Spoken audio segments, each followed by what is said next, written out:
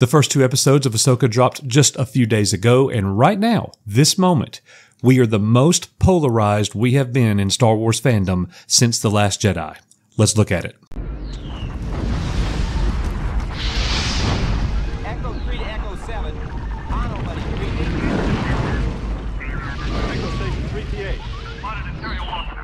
Let's say this right out of the gate. Star Wars is in a terrible place, and there's only one reason for that. That is because of Lucasfilm and Disney. Period. So when Ahsoka dropped on August 23rd, it was already behind the eight ball. And even though this is Dave Filoni's first time doing a live action series himself, many fans just aren't that excited about it. So the two episodes dropped. Personally, I gave the first two episodes a 7. That's the highest rating of anything Star Wars I've given in a long time. And my partner here at the channel, Nick, scored it a 5. And in our review, we saw that once I gave it a 7, people are saying that I'm a shill and what's wrong with me. And conversely to that, people were attacking Nick because he only gave it a 5. What's wrong with you? And that's fine to disagree. If my opinion's different than yours, let's have the conversation. I think that's awesome. And we've seen your comments, but let's see what the media is saying about Ahsoka. How are they reporting on this show? And this is going to tell us a lot about the state of Star Wars. Up first from The Ringer. Can Ahsoka be the fulcrum of the Star Wars franchise? And what that means, of course, is that a fulcrum is a resting place.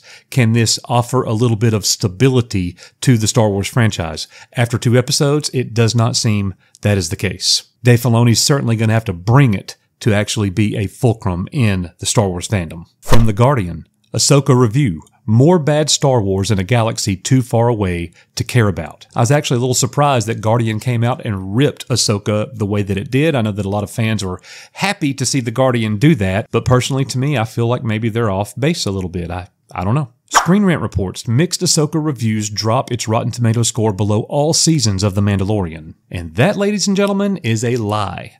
Rotten Tomatoes did not drop the score below Mandalorian Season 3. Mandalorian Season 3 is lower than Ahsoka every day and twice on Sunday. The Hollywood Reporter says Ahsoka Review, Disney Plus's fluffy new Star Wars series starring Rosario Dawson, is the anti Andor. What does that even mean? The anti Andor? Are you saying that Andor was excellent and this show is not good? Well, I disagree.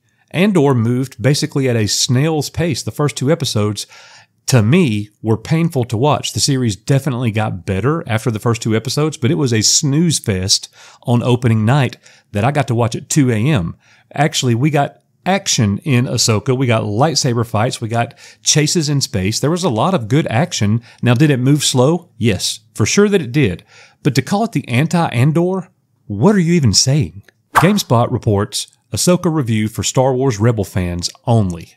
If you don't already care about Hera Syndulla and Sabine Wren, this show probably isn't for you. Now, I gotta say, I'm not a very big Rebels fan myself. I did watch the entire series one time through. There was a couple of episodes that I did watch more than once because of their relative importance moving forward in Star Wars. But to say that this show is for Rebels fans only, I'm not quite sure that I agree with that. However, it certainly does seem like a Rebel Season 5. I think it's fair criticism to say that Ahsoka needs to be more about Ahsoka and her story rather than the continuation of the Rebels storyline. And so far, it's certainly Rebel Season 5. Observer.com writes Ahsoka Review, the most lifeless Star Wars installment yet. Rosario Dawson is an errant Jedi Knight searching for a missing hero before a new war can start. But this show is so plotting, it wouldn't be surprising to find out the actors and director have been replaced by artificial intelligence. When I see a review like that, I definitely want to go back and see how they reviewed other things, because if you think this is slow, again to my previous point, what did you think about Andor? What did you think about the Book of Boba Fett? What did you think about Mandalorian Season 3? This show, to me, is better than the ones that I just mentioned. Better than Kenobi so far. The jury's still out. Definitely better than the Book of Boba Fett, and certainly better than everything we got in Mando Season 3 because, in my opinion, that was the worst Star Wars live action we've gotten so far. Independent writes Ahsoka Review Disney's latest Star Wars outing is flat, flimsy, and devoid of life. Is it fair to say those things after two episodes? I just don't know. Respectfully, I disagree with it. I don't think that the show was all that flat. Was it a little slow? Yes. It in some parts it was slow as Ahsoka actually running in the show because, as you could see, Rosario Dawson is very slow.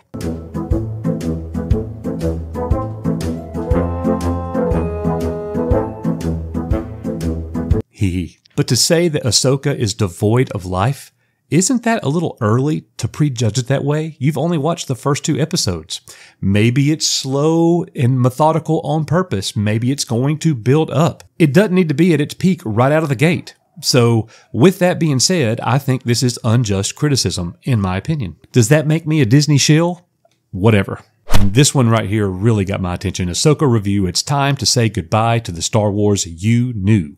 The newest entry in the galaxy far, far away is Ahsoka, which could use a little more of the franchise's signature simplicity, charm, and heart. Again, we've only seen two episodes. Now, do I agree with their overall premise? It's time to say goodbye to the Star Wars that we knew, that we grew up with. George Lucas's Star Wars. 100% absolutely. I fully support that thought. It's never going to reach the peak of before, of yesteryear.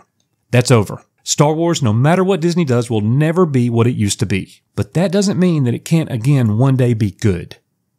And the problem with fandom right now is that just because Disney has it, what if they actually do give us a good show?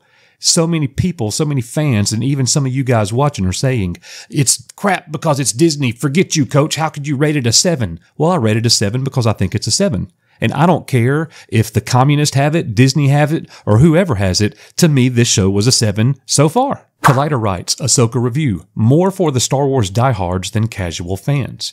Rosario Dawson stars as Ahsoka Tano in Dave Filoni's live-action continuation of Star Wars Rebels. Slow, lifeless, prodding, but for the diehards, I just don't even see how those two things make sense. How can you reconcile that? And I hope that you see what we're looking at here. A lot of the criticism from the media and even the fans, they actually don't match up. Like they just don't work together. Do I think that this show is specifically made for diehards? You have to be a Rebels fan to know what's going on? No, I don't. If you don't know who Hera Syndulla is before Star Wars Ahsoka Episode 1, who the freak cares? What does that matter? This comes from scmp.com, Ahsoka Review. Disney Plus Star Wars' series is slow but promising. And that was my thinking. That's why I gave it a 7. Because I truly am kind of on the fence with it.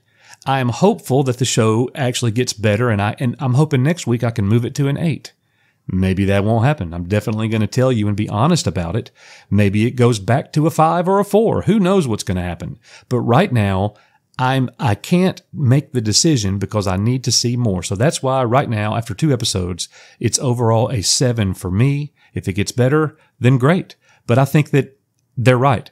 The show so far is slow but promising. The Escapist says Ahsoka is good, clean Star Wars. All of the people that have been hung up on leftist woke politics, agenda, Disney messaging, and things like that where is it in Ahsoka with the exception of having a, basically an all female cast?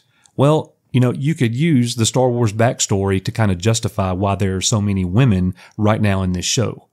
You know, Kanan is dead. Ezra is out in the wherever he's at, and Zeb, I think, will probably show up at a later date. We do know that he is in this Mandoverse. But with the exception of the whole being led by basically a female cast, where is the messaging? Where is the agenda?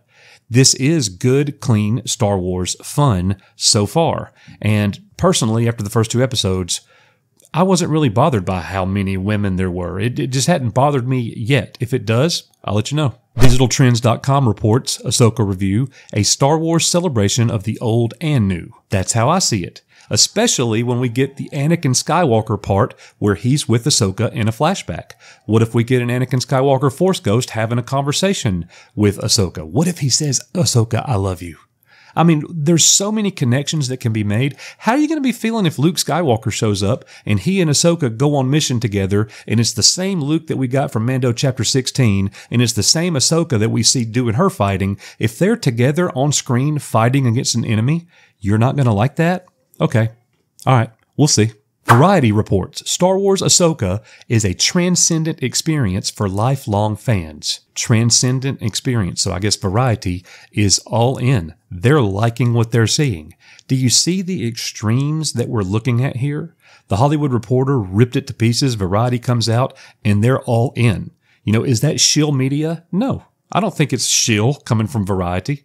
Whoever reviewed it really liked it. They say in the article how it's transcendent because they're taking a cartoon, an animated show, and they're making it live action, and it's good. It's the continuation of the Rebel story, and that's what they're saying is transcendent about it. And I gotta be honest, I agree with them. I have to say that it's probably not easy for Dave Filoni to step in and take what he worked on for so long for years in Rebels and Clone Wars, and now to translate that over to live action. That's gotta be tough. And the final one here from BlackGirlNerds.com review Ahsoka, the best series so far from Disney Plus Star Wars universe. And after the first two episodes, I can't disagree.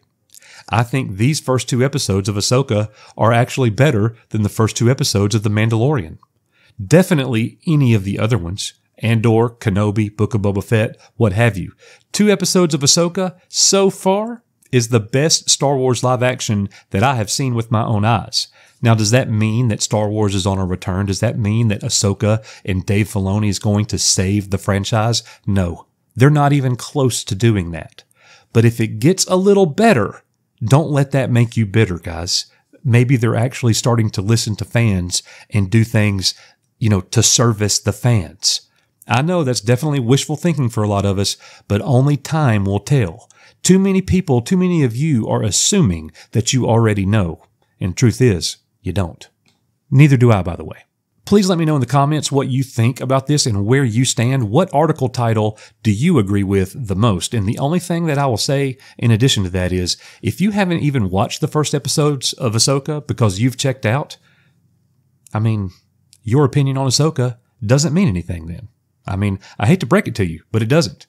You can sit there and whine and complain about Disney all you want to, but that does no good. And many of you are going to call me a Disney shill now, which is laughable. I'm definitely not a fan of Disney at all. Definitely not a fan of Disney Star Wars at all. If it improves and gets better, I definitely want to be in a position where I can at least recognize that. Thank you guys for being here. Can't wait to read these comments. We are You Are Echo Base Network. See you on the next one.